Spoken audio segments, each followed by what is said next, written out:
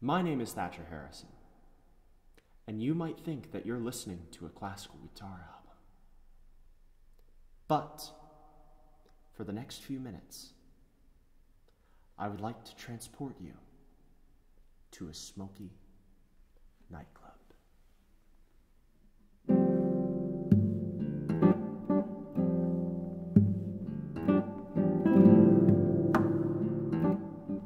Once you're there, back corner of the room, and you'll see a jazz trio laying down the groove like this. And behind the curtain, a singer waits in the wings. When she's good and ready, she's gonna come out and start to sing. She's gonna sing this song that I wrote